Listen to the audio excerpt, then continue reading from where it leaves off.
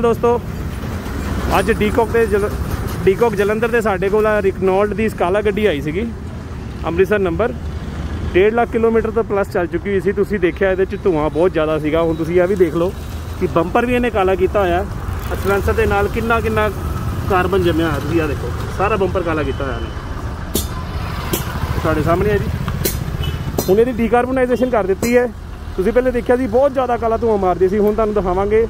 ਭਾਜੀ ਰੇਸ ਦੇਣਗੇ। ਭਾਜੀ, ਰੇਸ ਦਿਓ, ਦਿਖਾਈਏ ਧੂਆਂ ਹੈ ਕਿ ਨਹੀਂ। ਰੇਸ ਦਿਓ ਭਾਜੀ।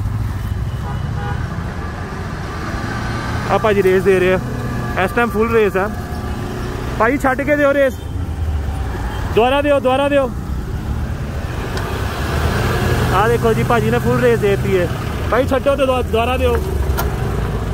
ਰੇਸ ਦਿਓ। ਬਸ ਭਾਜੀ। ਬਸ ਜੀ ਬਸ। ਇਹ ਤੁਸੀਂ ਦੇਖਿਆ ਕਿੰਨਾ ਜ਼ਿਆਦਾ ਬਲੈਕ ਸਮੋਕ ਮਾਰ ਰਹੀ ਸੀ। ਭਾਜੀ ਮੇਰੀ ਵੀਡੀਓ ਦੇਖ ਕੇ ਸੁਲਤਾਨਪੁਰ ਤੋਂ ਆਏ ਸੀਗੇ। ਭਾਜੀ ਕੀ ਨਾਮ ਹੈ ਤੁਹਾਡਾ? ਸੁਖਵਿੰਦਰ ਸਿੰਘ ਸੁਖਵਿੰਦਰ ਸਿੰਘ। ਭਾਜੀ ਤੁਸੀਂ ਦੇਖਿਆ ਕਿੰਨਾ ਜ਼ਿਆਦਾ ਬਲੈਕ ਸਮੋਕ ਮਾਰੀ ਸੀ ਗੱਡੀ? ਤੂੰ ਆ ਤਾਂ ਹੈ ਹੀ ਬੜਾ ਜ਼ਿਆਦਾ। ਬਹੁਤ ਜ਼ਿਆਦਾ ਧੂਆਂ। ਧੂਏ ਦੀ ਦੁਕਾਨ ਸੀ ਧੂਆਂ ਕਿਸੇ ਧੂਏ ਦੀ ਦੁਕਾਨ ਸੀਗੀ। ਤੇ ਹੁਣ ਆਪਾਂ ਅੱਧਾ ਘੰਟਾ ਲਾਇਆ। ਮੈਂ ਭਾਜੀ ਨੂੰ ਕਿਹਾ ਸੀ ਮੈਂ ਵੇਖ ਕੇ ਡਰ ਗਿਆ। ਮੈਂ ਕਿਹਾ ਭਾਜੀ ਇਹ ਆਪਾਂ 70 80% ਤੇ ਖਤਮ ਕਰ ਦਾਂਗੇ। 100% ਮੈਨੂੰ ਵੀ ਔਖਾ ਲੱਗ ਰਿਹਾ ਕਿਉਂਕਿ ਧੂਆਂ ਬਹੁਤ ਜ਼ਿਆਦਾ ਸੀਗਾ। ਪਰ ਯਕੀਨ ਮੰਨੋ ਤੁਹਾਡੇ ਸਾਹਮਣੇ ਆ ਭਾਜੀ ਨੇ ਵੀ ਦੇਖਿਆ 100% ਧੂਆਂ ਖਤਮ ਹੋ ਚੁੱਕਾ ਹੈ। ਬਿਲਕੁਲ ਗੱਡੀ ਸਾਫ਼ ਹੋ ਗਈ ਹੈ। ਬਿਲਕੁਲ ਬਿਲਕੁਲ। ਠੀਕ ਹੈ ਭਾਜੀ? ਭਾਜੀ ਹੁਣ ਤੁਸੀਂ ਟੈਸਟ ਰਾਈਡ ਦੇ ਕੇ ਆਇਓ ਲੈ ਕੇ ਆਇਓ। ਸਾਨੂੰ ਦੱਸੋ ਕਿ ਗੱਡੀ 'ਚ ਕੀ ਫ਼ਰਕ ਆਇਆ? ਪਹਿਲੇ ਕੀ ਸੀ ਤੇ ਹੁਣ ਕੀ ਹੈ? ਪਹਿਲਾਂ ਦਬਦੀ ਸੀਗੀ।